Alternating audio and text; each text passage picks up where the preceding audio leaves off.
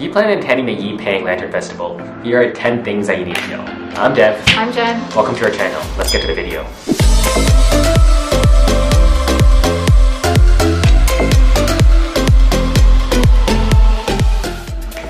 Number 1.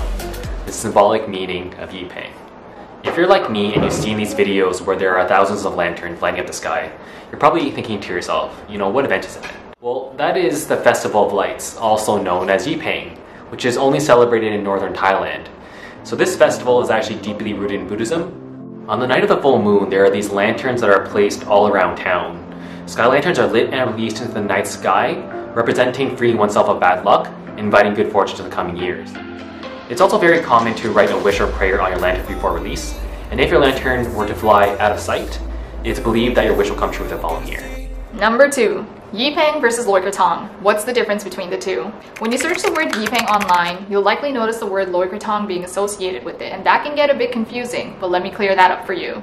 Yi Peng is a sky lantern festival you mostly see and hear about, with thousands of people releasing lanterns in the sky. It's normally held for three days and is only celebrated in northern Thailand mainly Chiang Mai. Loi Krathongs are small floats constructed from banana leaves and flowers with incense sticks or candles in the middle. They are released into rivers and canals in the city to pay respect to the water goddess for all the rain and rice harvest for the year. This festival is free to attend and is celebrated nationwide in Thailand. So we learned that these are two independent yet coinciding events that occur during the same time between late October to November. The exact dates for them can get a little confusing because they both occur on the full moon of the 12th month of the Thai lunar calendar. For updates on the exact dates, be sure to check out our link in the description box below as the dates do change every year. Number three, book your flights and hotels early. So we were in Bangkok at the time. We booked our four day trip to Chiang Mai about a month in advance. What we should have done was we should have booked it way in advance. The reason being is because this domestic flight, one hour each way, cost us $170 Canadians each, while other months it would only cost 40. So learn from our mistake and book your flights early either domestically or internationally. As for accommodations, we were able to secure the B2 Green Hotel a month in advance for a pretty reasonable price. We paid $22 for a standard room, and the location was pretty great because it was between Maya Mall and Old Town. We recommend that you stay in that area just because there's a lot of convenience for food, uh, it's where the mall is and where the festival is happening. We love using Agoda to find the best hotel deals, so we share the link below so you can find the best deals as well. Number 4. Where to go for the Yi Peng Lantern Festival. We were going back and forth with each other for quite a while with this one as there were so many events being held for this festival.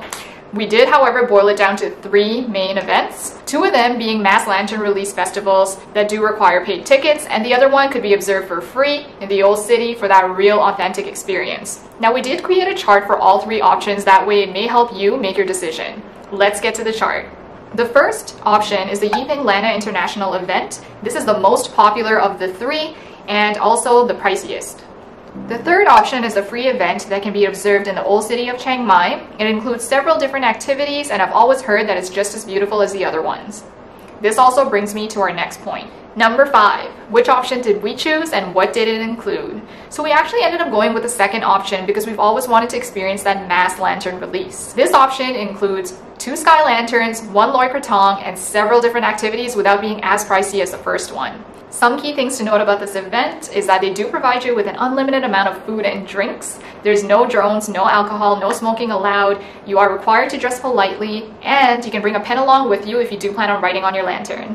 Number six, get ready for the crowds. On the day of the event, we had to register a ticket at the pickup location and get our transportation from there to the event. That process, along with the event itself, was overwhelmingly crowded, and the wait for our transportation back at the end of the night was also super, super packed. So I just want to mention be prepared to share your time and space with thousands of other people because this event can get really, really packed and really crazy at the same time. But at the end of the day, watching the lanterns, releasing it, the whole experience itself totally makes it worth it. Oh yeah, also we brought pens to write on our lanterns, but unfortunately we didn't even get to use them because by the time we got to the lantern seating area, it was already so dark and the seats itself was so tight and packed that we couldn't even open up the large lanterns, let alone write on them, which brings us to our next point. Number seven, lighting a lantern is harder than it looks. So for me personally, I had trouble with this, and here are some tips that I wish I knew before I went, and let me demonstrate with a real paper bag. When you first receive your lantern, you're going to realize this thing is actually pretty big, and you have to fill it with air. This is harder than it looks because you're so tightly squeezed with other people. Once your lantern is fully filled with air, the next most crucial step is that you have to light a wooden kindle on the bottom of the lantern. What most people get wrong is that they just light it up and the flame starts burning the signs. What you want to do is hold the top of the lantern while lighting the wooden kindle on the bottom to prevent the side from burning. We've seen so many people around us lose their lantern that way. Once lit, your lantern will fill up like a hot air balloon. And once fully filled, you'll feel a slight tug on your fingers. Once you feel that, your lantern's ready to release. Number 8. Is it eco-friendly?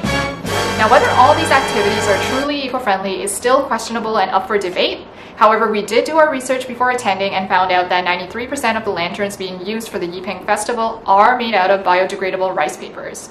The specific organization that held the event we went to does take responsibility with cleaning up the environment after the event has taken place. They've also changed the title for the event next year to include the word eco-friendly with an aim to reduce environmental damages. Number 9. The fireworks happen at the initial release of the lanterns. So during the first 5 minutes of the lantern release, make sure you have your camera ready for that picture perfect moment. That's what happened to us at the CAT event in 2019, and we're not too sure if other events are the same way. When we're lighting our first lantern, we were caught a bit by surprise that the firework finale was at the very beginning of the show. So make sure that you're ready for that moment and have your camera ready.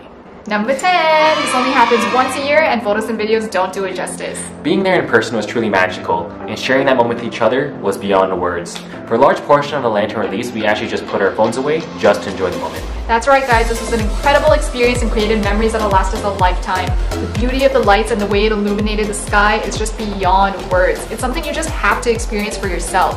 So if you're looking for that Disney Tangled moment, then this is definitely it. We highly recommend for you to check out the Yi Peng Lantern Festival in Chiang Mai. Don't miss it or you might regret it. Thanks so much for watching. We hope this inspired you to add this event to your bucket list. If you have any questions, please comment down below and we'll be happy to answer. Alright guys, if you enjoyed this video, don't forget to subscribe, give it a thumbs up, and share it with your loved ones. Also check out our cinematic video of the Lantern Festival if you haven't already. But for now, we out. Peace! derp